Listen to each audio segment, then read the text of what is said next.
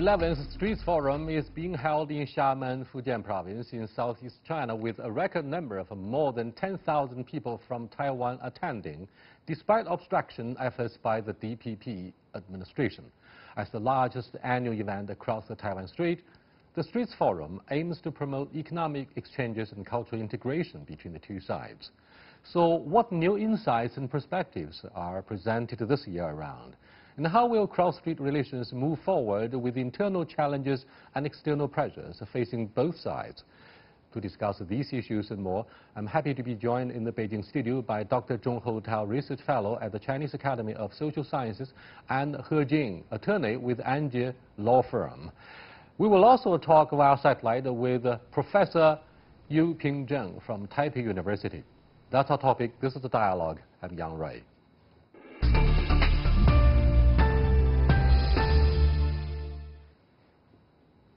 Welcome to our discussion here um, with regard to this uh, most important annual non-governmental uh, platform or event across the Taiwan Strait. Uh, Dr. Zhong, are there any new aspects that need to be emphasized, particularly this time around?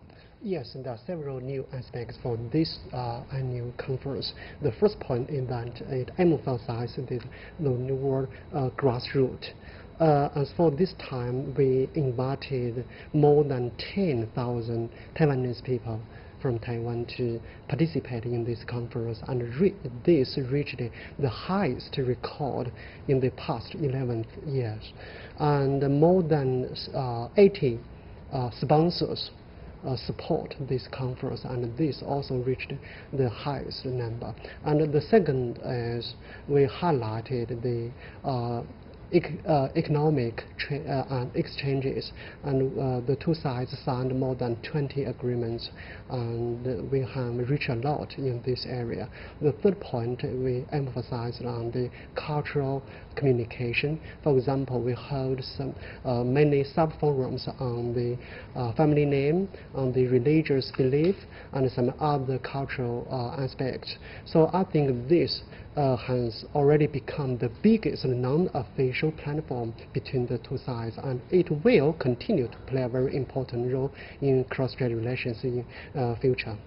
Mr. He Jing, without exceptions, uh, audiences and viewers alike would pay particular attention to messages that must have been delivered by the keynote speaker at the opening ceremony of this forum, the 11th of its kind since its inception. So what do you think of the uh, importance of uh, the uh, goodwill gestures that the mainland or Chinese mainland authorities deliver? Uh, to me, I think the most important thing is that uh, I think the mainland China really communicates a real and genuine message to build very authentic communication or relationship with uh, the people in Taiwan. To have these two sides to really have the better understanding or fully appreciate or eventually build a partnership, this kind of a communication or this kind of platform will really prove to be very, very important.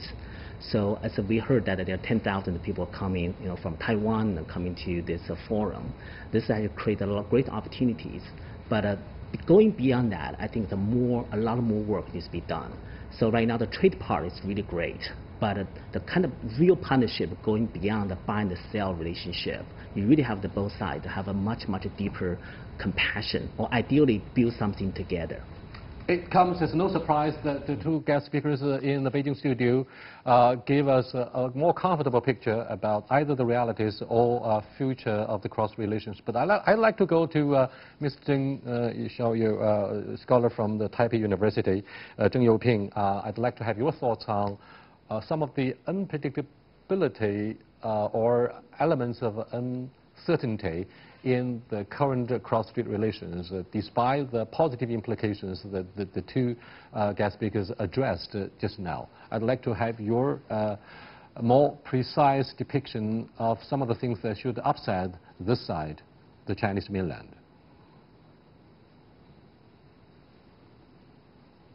Well, first of all, the Straits Forum, uh, when it began over a decade ago, uh, wasn't new to everybody in Taiwan. It wasn't that famous. But thanks to DPP's propaganda against this forum, DPP uh, described Straits Forum as a form of uh, conspiracy.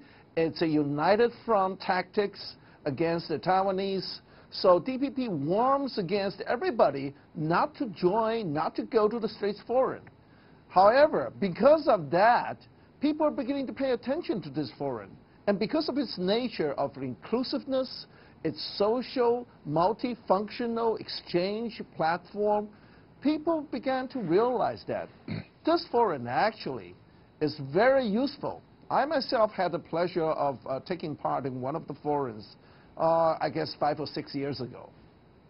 And I realized that thousands of Taiwanese flock to this forum because they feel that it's very useful. You get to know people, you get to see different kind of exchange opportunities, and of course, for business people, they will think that building up the uh, contacts uh, there in mainland China is extremely useful for them.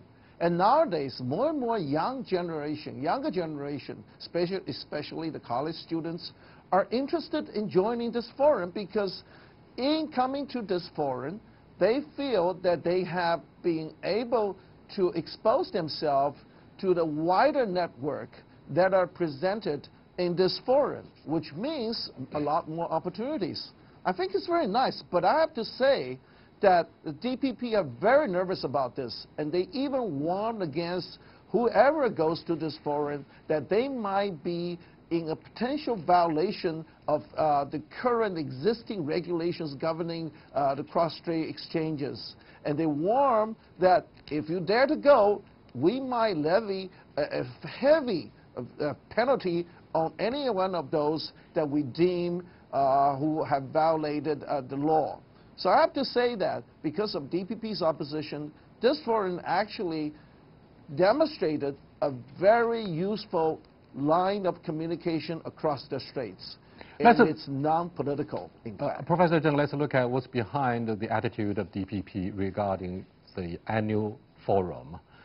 Do you think their opposition is more about anger or jealousy?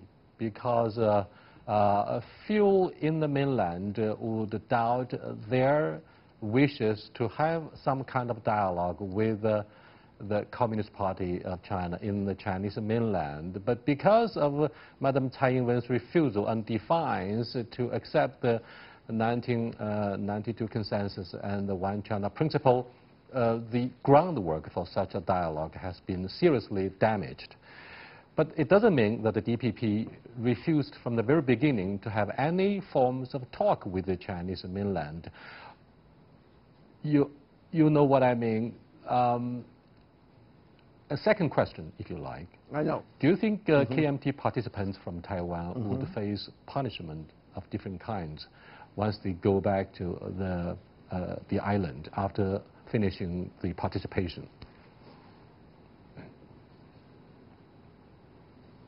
Let me take up the second question first. I don't think DPP would have the guts that make them dare to punish whoever took part in this forum, especially the KMT members. And if they did that, I would have to say they're helping the KMT to gain more popularity uh, among the Taiwanese voters.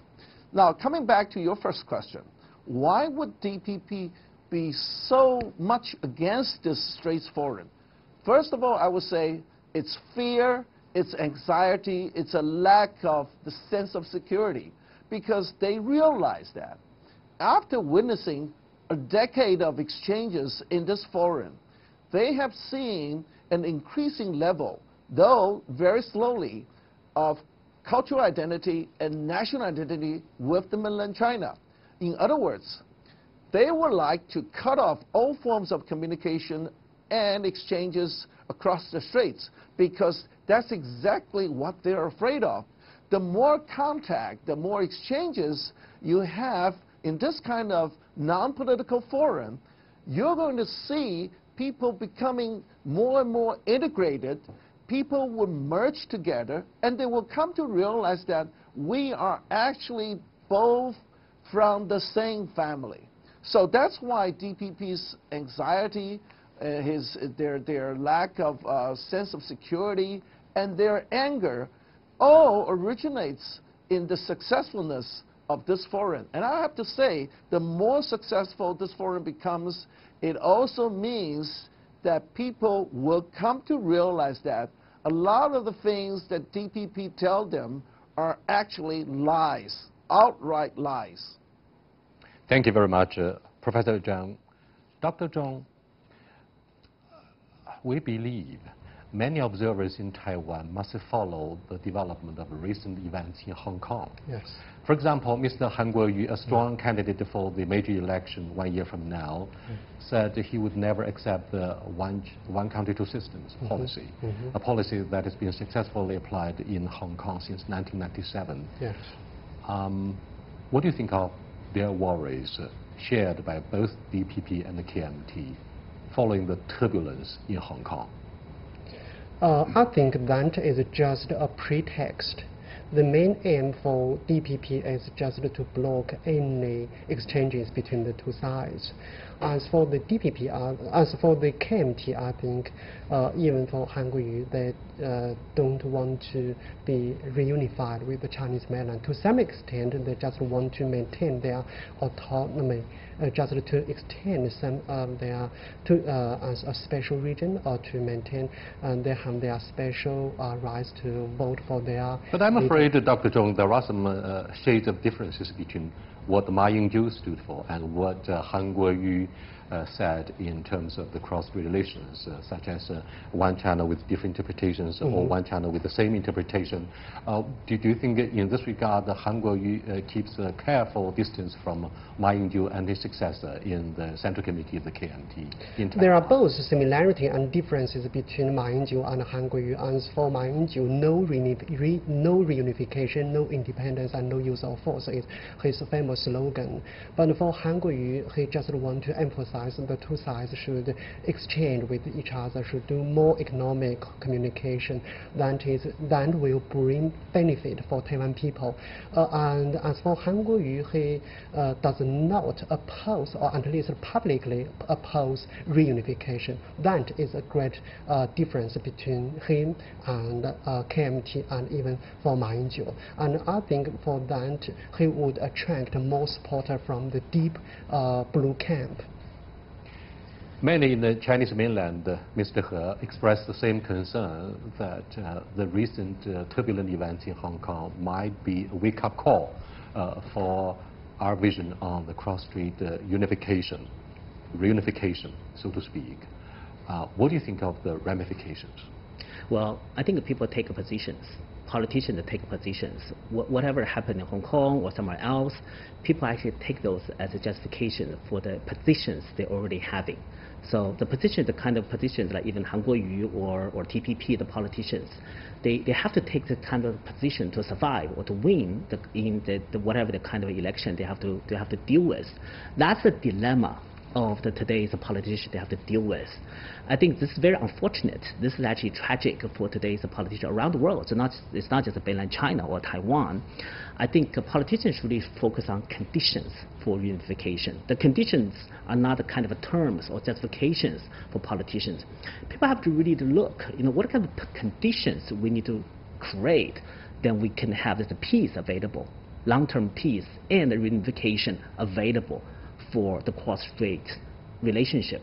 Right now, people are not creating relationship. Actually, for, the, for what the DPP is doing, whatever they're doing against like the cross-strait, you know, the forum, they're destroying destroying the you know, conditions. I think that's something we really have to wake up to looking at what's happening.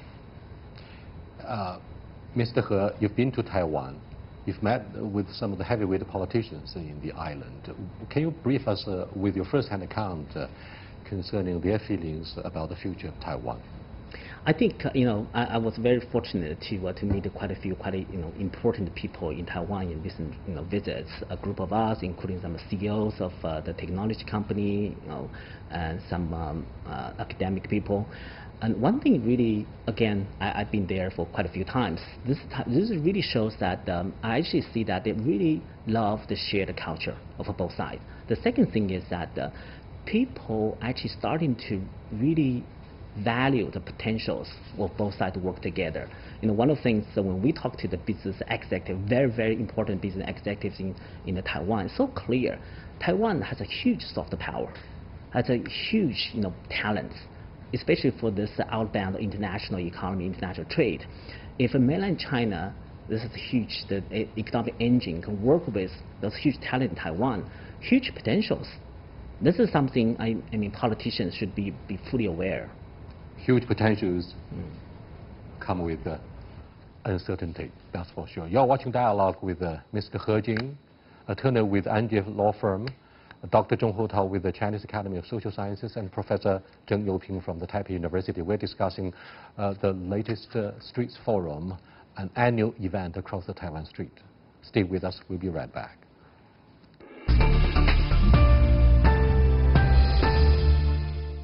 Once again, CGTN is joining with German broadcaster NDR in co-production, this time in Guangzhou.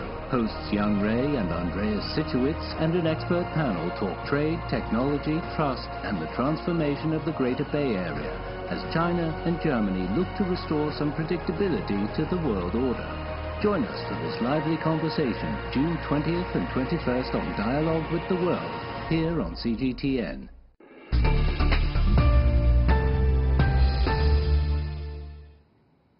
Yes, we do expect to look at dialogue with the world with the German counterparts that we conducted in Guangzhou. That's a very interesting special program. Please stay tuned. Welcome back to our discussion about Taiwan.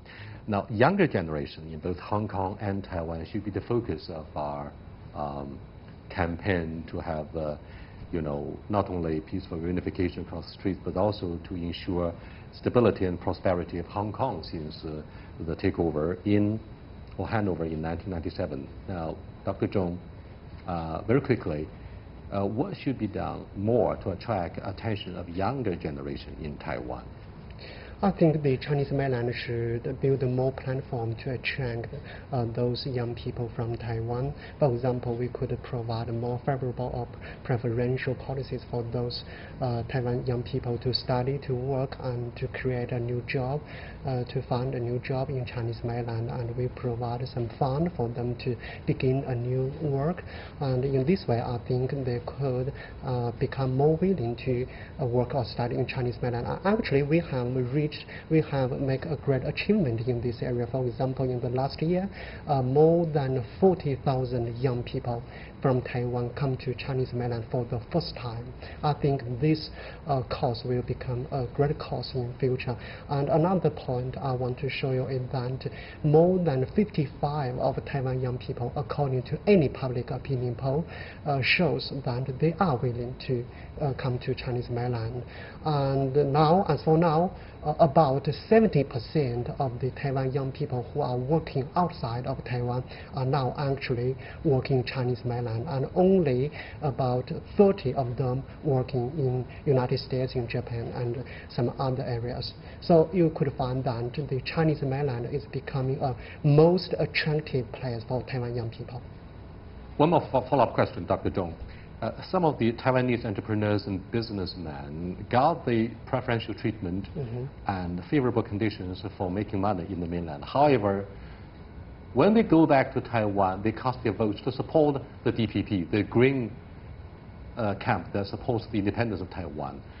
Do you think the mainland would have that amount of patience and political will to allow this to happen any longer? As for this question, I think it would be divided into parts. The first is that it is their own right to vote for DPP or for KMT. That is their own rights. We should do uh, nothing for their rights. As for the second, we would not allow anyone to uh, bring benefit in Chinese mainland, to get benefit in Chinese mainland uh, on the one side. And on the other side, they, they, uh, be to, uh, they began to support the DPP when they came back to uh, Taiwan, I think they, if they do support DPP, maybe they have no chance to come back to Chinese mainland to earn money in future. What you suggest is the consequences arising exactly. from their uh, um, dubious and uh, yes. ambiguous maneuvers. let me go back to uh, Professor Zheng Youping from Taipei University.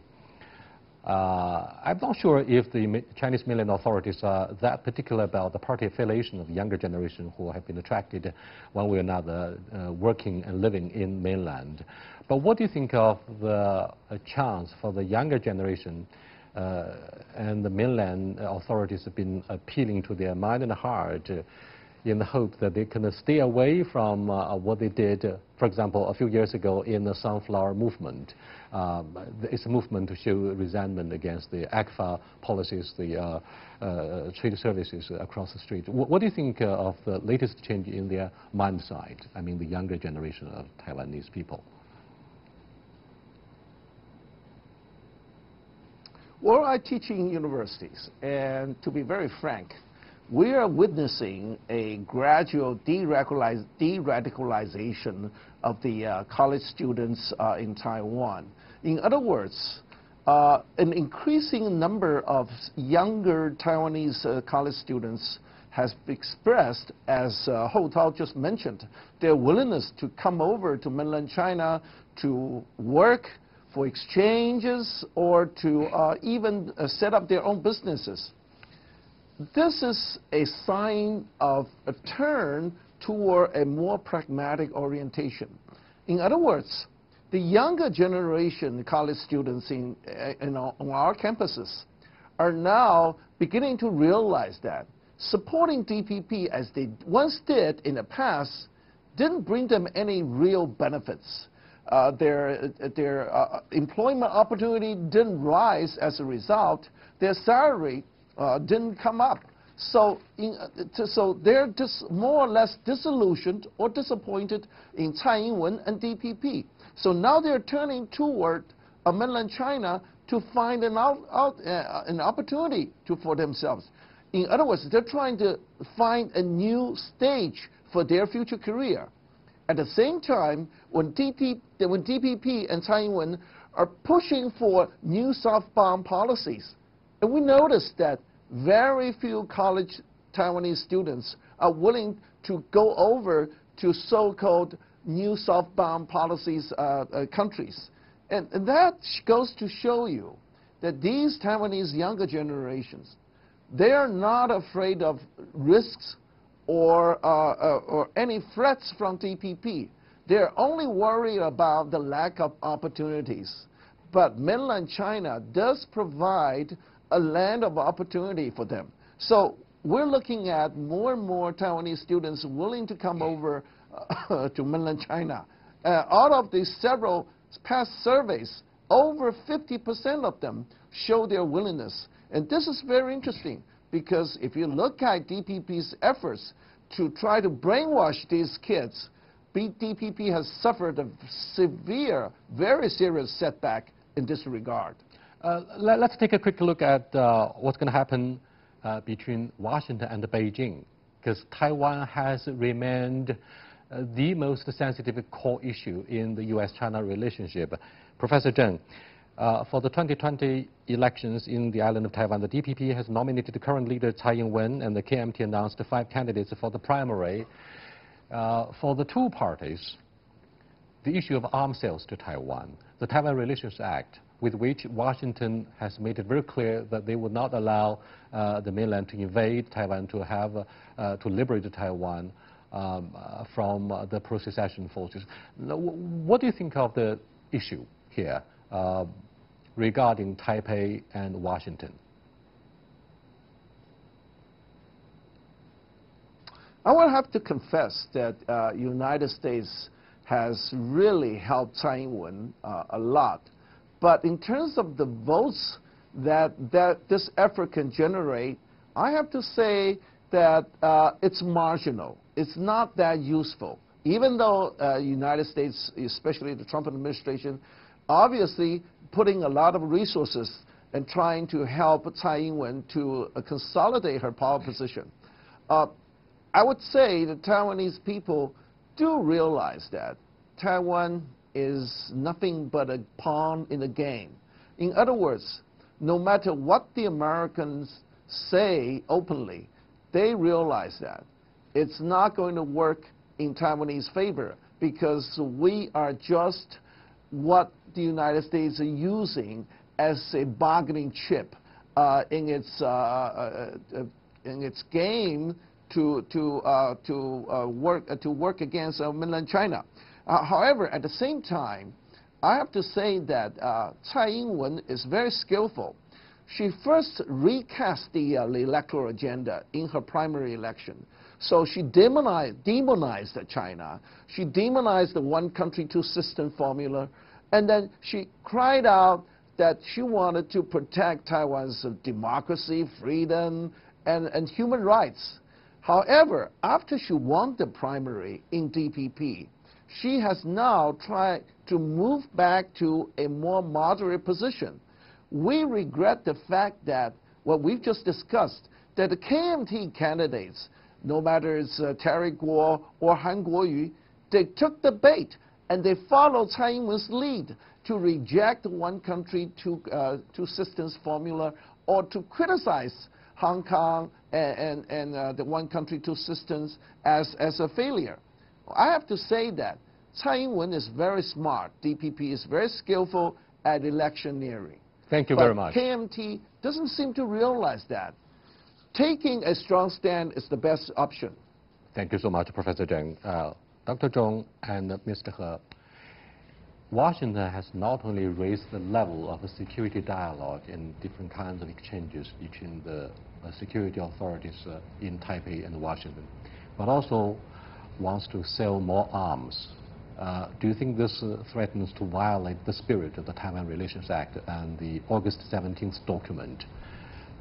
Of course, according to both the, the so-called TI or Taiwan Relations Act and the three joint communique between Chinese mainland and the United States, it is clearly regulated that the United States should gradually reduce its arms sales to Taiwan. That means it's the amount and the weapons should become much uh, less and less. And, but now the United States is preparing for more than 10 billion US dollars uh, arms sales to Taiwan, including the advanced jet fighter F-16V. Mr. He, are you pessimistic about the prospects of having very dangerous escalation of tensions between the Pentagon and the Chinese PLA armed forces over Taiwan? Uh, I'm not pessimistic. I think the, the key thing is for mainland China is to really resist the, the temptation to react. We must uh, keep the commitment to the peace and commitment, keep the commitment to the reunification. We have to really do what works. Dr. Zhong, uh, I noticed the recent remarks by Mr. John Allen, head of Brookings Institution, a very influential think tank in the D.C. He yes. said uh, the issue of Taiwan is easier to manage than the South China Sea. What did he mean? Uh, actually, I don't agree with his point. Uh, as for the South China, uh, South China Sea, uh, uh, I, I, think no country would follow or cooperate with the United States. And since those countries are willing to make a balance between United States and China, so they want to make a good relationship with the Chinese mainland. But the Taiwan issue is different. The Taiwan Authority, I mean Taiwan Authority, could fully cooperate with the United States to take itself as a bargaining chip or as a pawn in a, a China and U.S. game. So I think Taiwan issue would become much more dangerous than South China Sea issue. At the same time, Mr. John Allen warned mildly mm -hmm. authorities in Taiwan not to play fire uh, to uh, re revoke anger. That's a good the, idea. Chinese yes. mainland.